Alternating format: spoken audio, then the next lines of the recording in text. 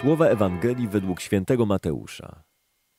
Kiedy schodzili z góry, uczniowie zapytali Jezusa: Czemu uczeni w piśmie twierdzą, że najpierw musi przyjść Eliasz?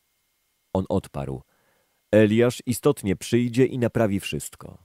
Lecz powiadam wam, Eliasz już przyszedł, a nie poznali go i postąpili z nim tak, jak chcieli. Tak i syn człowieczy będzie od nich cierpiał.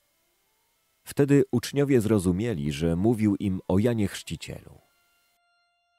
Święty Jan Chrzciciel jest zapowiadanym Eliaszem. To paradoks, że Żydzi tyle wieków czekali na powrót Eliasza, zresztą do dziś w każdej synagodze przygotowane jest dla niego miejsce.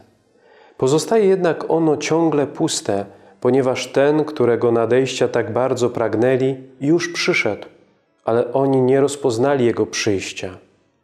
Nie przyjęli Jego nauki i nie przygotowali swoich serc na nadejście Mesjasza. Można pragnąć i być tak zaślepionym tym pragnieniem, że przestaje się widzieć, jak pragnienie to się spełnia. Jana kazał ściąć Herod. To właśnie w tym celu miał na ziemię powtórnie przyjść Eliasz. Jest rzeczą niemożliwą, aby prorok nie uwielbił Boga własnym męczeństwem. To jest wyraz wielkodusznej i ofiarnej miłości proroka wobec Boga, który go na świat posłał. Jan dobrze zdawał sobie z tego sprawę.